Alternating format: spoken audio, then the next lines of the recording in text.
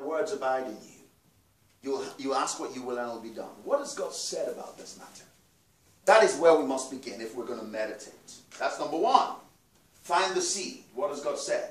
Number two, begin to mutter them to yourself. You see, meditation is it's an involved process. And what you're doing is you are creating a picture in your heart of who God says you are. You know, we understand through pictures. If I said car, you don't think the letter C-A-R. You think about the picture of a car, do you not? Yes. In fact, right now we all thought about different cars. If I said, don't think about a white uh, Volkswagen Beetle, that's all we're thinking about, right? Because you can't not think about something because your mind thinks in pictures. Okay? So we think in pictures. So when you are muttering to yourself, you are seeing yourself as a recipient of what the Word of God says you are. When you are meditating on something or meditating on the Word, you are involved in the picture. Let me give an example. Um, the Bible says, for instance, like I quoted earlier, that if anyone is in Christ, he is a new creation. That is 2 Corinthians 5.17. All things have passed away, and all things are becoming, uh, have become new. Now, if I was meditating on that verse, I don't say, um, if anyone is in Christ. I will put it in the first person, and I will be seeing myself in Christ. I am in Christ. I have given my life to the Lord, and therefore I am a new creation. You see how it works? All things are passed away and all things have become new. I am beginning to paint a picture in my heart of myself in Christ. I'm not alone anymore. I am now in Christ. I am now a new creation. I'm a new species of being that's never existed before. I have the nature of Almighty God. I am speaking out of my mouth. I am muttering to myself the truth I see in the Word and I'm seeing myself in that picture. I'm seeing myself in that picture. I am painting a picture in my heart, and that picture is truth because that is the word of God on the matter. God said to Abraham, I have made you the father of many nations. Abraham wasn't meditating, God will make me the father of many nations. He was meditating, oh, God has made me the father of many nations. I am the father of many nations. He was painting a picture in his heart of the truth of the Word of God regarding what God had already done, not what God is going to do. When we're meditating, we're meditating on what God has already given us. What the Word of God says He has already given us. Not what we think He's going to give us in the future, because if you are meditating on what He's going to give you in the future, we don't know when He's going to give it to you. But his word says he has already given us all things that pertain to life and godliness. So we look for verses that guarantee to us what he has given us. And then we begin to mutter them. We begin to mutter them. You know, um, I have a small farm, several acres, and um, you know, it seems very strange that you have this little seed and you go through a process and after some weeks it begins to sprout. It's a very strange thing because the seed is very small.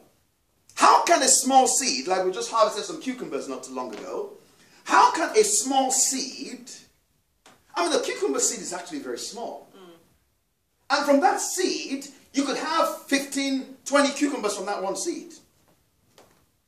And it's, it's like a miraculous process.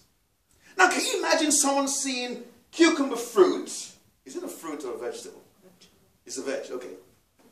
Imagine someone seeing cucumber vegetables and thinking, no, there's no way it could come from this seed. There's no point planting this seed because there is no way this seed could ever give me that fruit or that vegetable. Mm -hmm.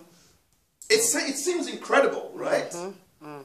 And a lot of people have discarded seeds because they think, well, you know, I've been having this issue for so long. I've not been able to have a child for 30 years. How can this little seed produce a child? It doesn't make any sense. It's not logical. But you see, that seed is the Word of God. And if you will only plant it, if you will only plant it, it will bring forth much fruit. So we begin to mutter it to ourselves, seeing, seeing ourselves as recipients. Sometimes we'll fall on our faces, but we are not distracted by, by what happens on the outside. We're focused on what he says. You know, my friend, when he began to say to himself, I am a new creation, sometimes he'll, he'll find himself smoking and he'll say, Well, I am a new creation. Go back to his room, say, Lord, I'm sorry, but I'm a new creation. He did not allow his focus to be distracted. Remember what Solomon said pay attention, incline your ears, put it in front of your eyes. Don't let it let it fill your heart, and then it will become life to you. It's a process. It is a process. So, number two, begin to mutter to yourself for five more minutes. Begin to mutter them to yourself, seeing yourself as a recipient of what you desire. Number three, ask the Holy Spirit to help you. The Holy Spirit is our helper, and He's very real. Remember in the beginning when the Bible says in Genesis 1 the earth was without form and void, and darkness was on the face of the deep, and the Spirit of God moved on the waters, and God said, Let there be light, and there was light. The Word of God, when the Word of God was spoken, the Spirit of God created the Word and brought it to pass in the earth. And that is exactly what He does in our lives. Ask the Holy Spirit, Lord, help me as I meditate in the Word, reveal the truth of your Word to my heart. That's number three.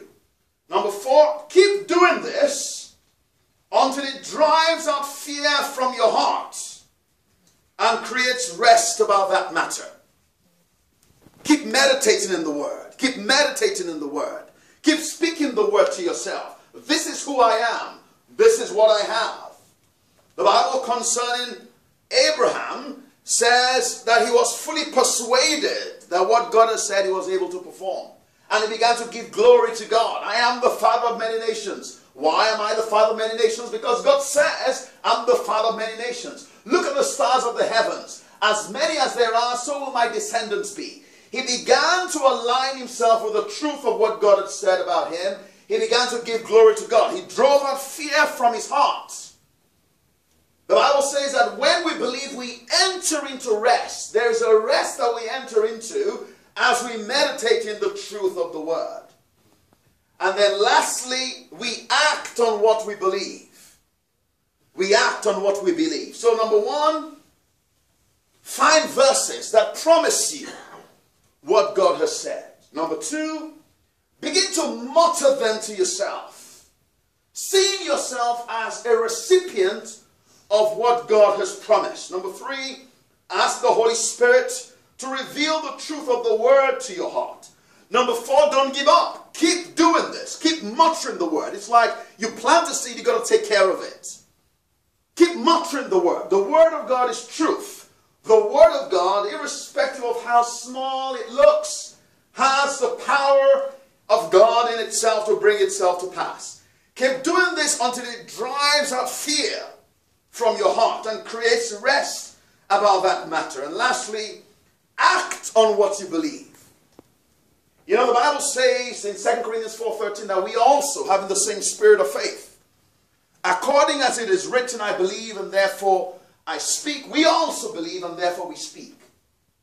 Remember the, um, the story of the woman with the issue of blood in Mark chapter 5. The Bible says that um, she went through the crowd and she said to herself, If I touch the hem of his garment, I will be healed.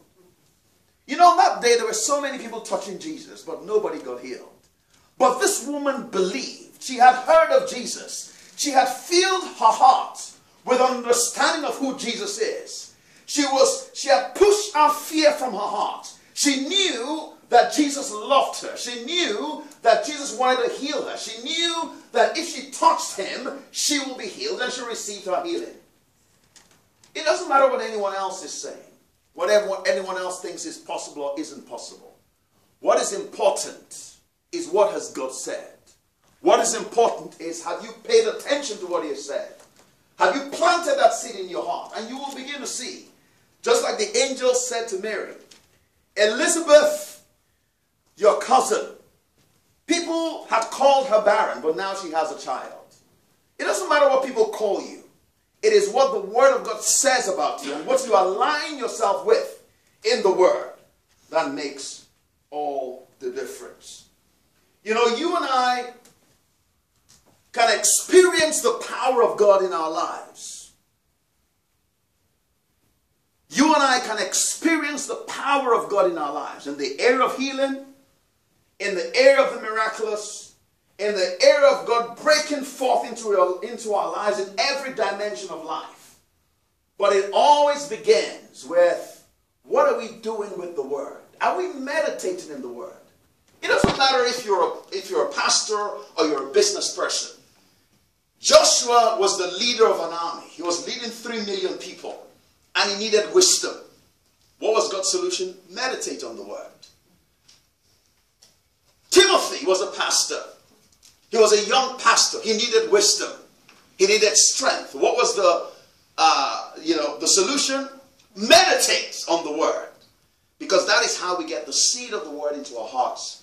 And that is how the productivity of the word of God will break forth into our lives.